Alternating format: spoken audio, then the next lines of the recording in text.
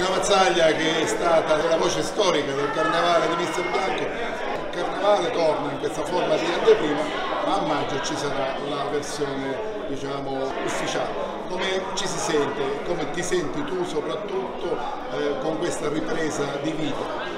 Beh, eh, sai, dopo averlo fatto per tantissimi anni, cominciando al 1981, eh, l'edizione che non si è fatta mi è mancata e quindi dovrei recuperare.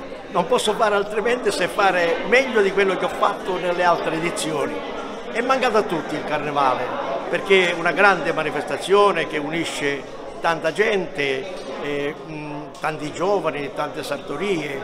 Eh, beh, il, ruolo, beh, il mio ruolo è quello di dare lustro ai costumi dei miei amici e conterranei mister Bianchesi un ruolo che è venuto spontaneo quando nel 1982 mi hanno detto gli attuali quelli dell'epoca di eh, commentare, presentare. C'erano due gruppi, uno era quello storico di Turri Campanazza e un altro era il CUP, il eh, Centro Universitario e Professionisti. Hanno sfilato uno con il circo e l'altro con il, il Far West.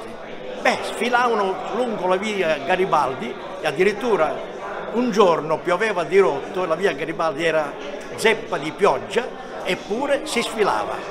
E lì è nato il nostro vero carnevale, questo attuale dei costumi più belli di Sicilia, ma io lo dico più bello del mondo, perché i nostri costumi hanno una caratteristica, quello che ogni costume rappresenta qualcosa della tematica. Quindi non è bello perché è fatto con stoffe pregiate, perché chi lo indossa lo sa portare, ma perché ci sono dei riporti alla tematica ed è questa la unicità dei nostri costumi.